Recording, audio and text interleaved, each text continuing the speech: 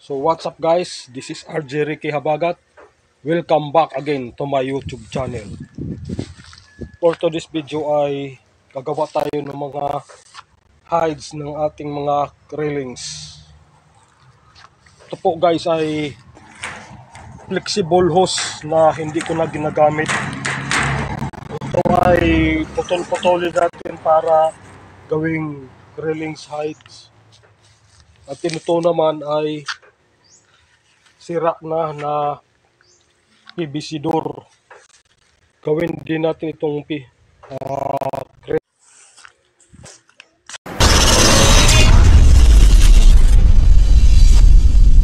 so ang gamit nating pangputol guys itong hakso or itong cutter. Madali lang ng- madali lang naman ito putulin guys dahil dito tayo magkakat yung mga may group-group na dahil man, ma- manipis dyan na parte. So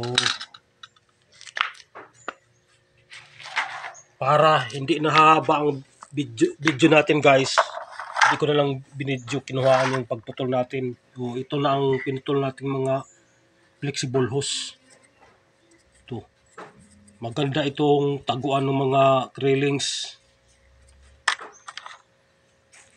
Komportable sila dyan yung mga railings hanggang 2 inches kaya pa dito magtago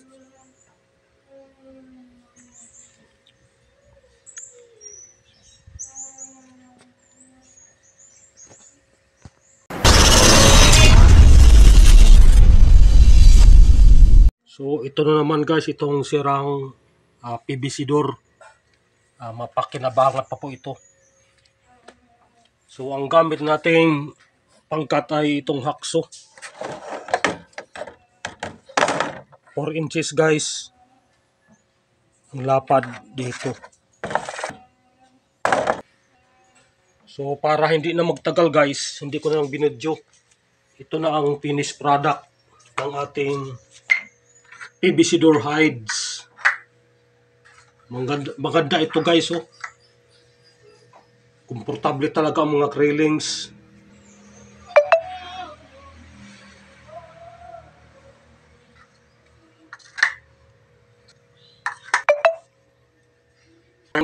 Ah, okay talaga. Hindi sila mag-iilugan ng mga taguan nila dahil marami sa isang ganito maraming butas. Maganda talaga ito guys. Mapagkinabangan pa talaga yung sira nating PVC door. So, before natin ito gamitin guys ay babad muna tayo ng, yaw, ibabad muna natin sa tubig. I-treat muna natin ng ilang araw para safe natin gamitin para taguan ng ating mga railings.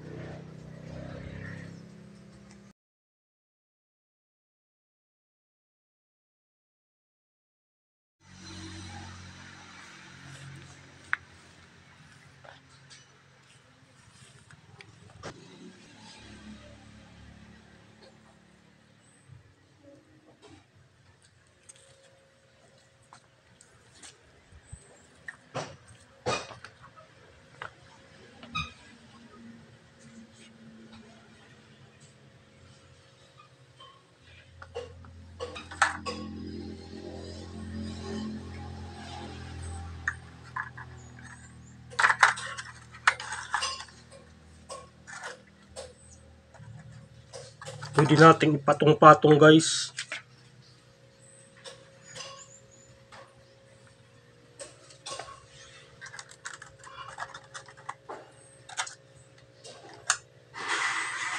Ganda tingnan guys oh.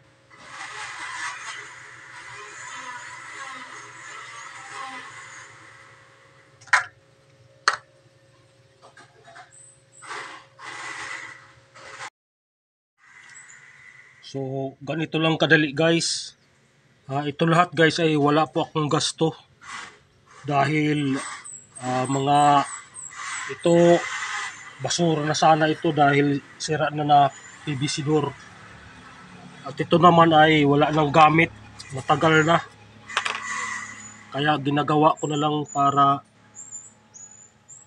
mapakinabangan pa para sa ating mga grillings at crepes na pagpaparming natin.